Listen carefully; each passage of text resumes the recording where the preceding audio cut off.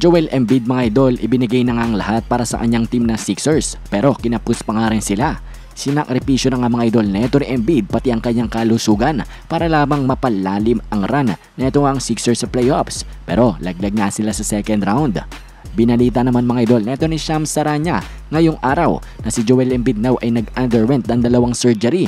I-repair ang kanyang right thumb at para i-repair ang kanyang left index finger. Playing injured pala mga idol itong si Joel Embiid all throughout the playoffs.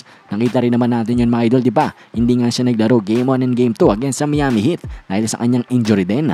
At ngayon nga mga idol, ni-reveal neto ni Sham Saranya na hindi lang pala yon ang injury neto ni Embiid. May injury nga rin siya sa kanyang mga daliri mga idol. Pero hindi nga yun naging dahilan para kay Embiid na hindi nga siya maglaro sa Sixers. Kaya naman mga idol, maraming NBA fans ang nagbigay ng kudos dito kay Embiid sa kanyang paglalaro through injury.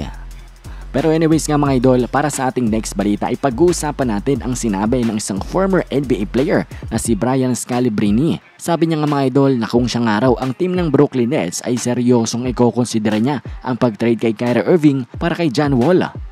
Well, ang maraming NBA fans ay nagsabi, thank goodness nga daw na hindi siya isang NBA GM dahil it's a bad trade nga daw na i-trade itong si Irving at si John Wall.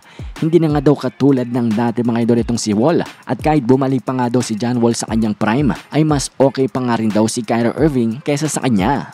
Yan nga ang sagot ng mga NBA fans mga idol dito sa nasabi ni Brian Scalabrine. Anong masasabi niyo mga idol? Okay ba itong trade na ito? Kyrie Irving for John Wall? Komento nyo lamang ang inyong mga opinyon. At sa ating next balita nga mga idol, projected na top 3 pick na si Paolo Banchero. Sinabi niya hindi niya daw gusto ang team ng Oklahoma City Thunder.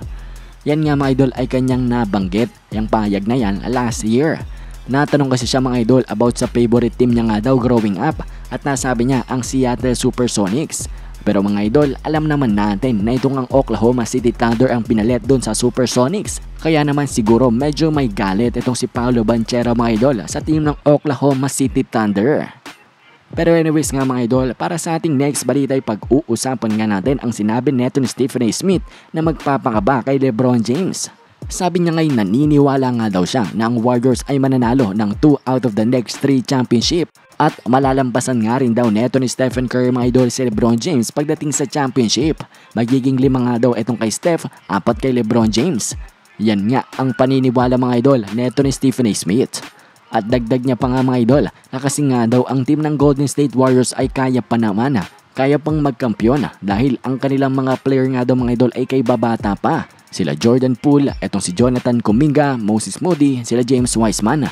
Yan nga mga idol ang tinitingnan neto ni Stephen A. Smith kaya naniniwala siya kayang lampasan neto ni Stephen Curry si Lebron James pagdating sa championship.